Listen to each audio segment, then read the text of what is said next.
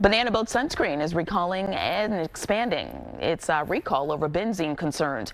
Four batches of the Banana Boat hair and scalp sunscreen spray, SPF 30 that is, it's now included in that recall.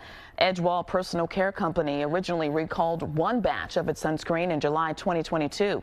It says the benzene isn't a product within the sunscreen, but that it unexpectedly came from the can's propellant spray. The chemical is known for causing cancer when exposed to it. If you own a can, Edgewell says Banana Boat will provide you with a refund.